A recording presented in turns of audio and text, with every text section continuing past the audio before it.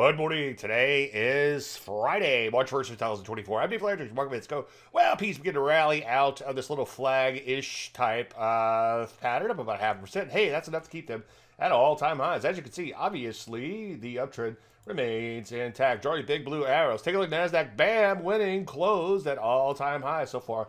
So good there, too. Rusty, bring up the rear. Well, it was up a bit yesterday, but well off its best level. Stalling out a little bit towards the top of a shorter term wide and loose range, which is the top of a longer wide loose range, which has a bigger wide and loose range on top of it. You get the idea. A lot of areas looking pretty good in here. Manufacturing, bam, winning all-time highs, a little bit of vigor. Drugs pulling back a little bit, but so far looking pretty good. We could see some setups here fairly soon. Retail, bam, winning all-time highs. Semiconductors, Bam winning all-time highs there too. AMD catching up with NVIDIA. Take a look at the home builders. Bam winning all-time highs there too. Financials just off all-time highs. Health services just off all-time highs. Pulling back in here and looking bullish. So what do we do? Well, continue to look to get long.